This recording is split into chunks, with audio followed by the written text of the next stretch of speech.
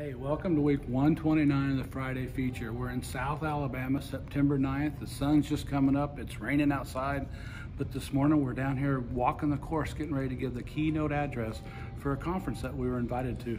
Very blessed to have the opportunity. We'll talk about a lot of things, but one thing will happen today is I'll ask for a volunteer to come up and read it read a few sentences out of this book by Jon Gordon. And it talks about you becoming a CEO, not the chief executive officer, but the chief energy officer of your organization, of your world, of your household.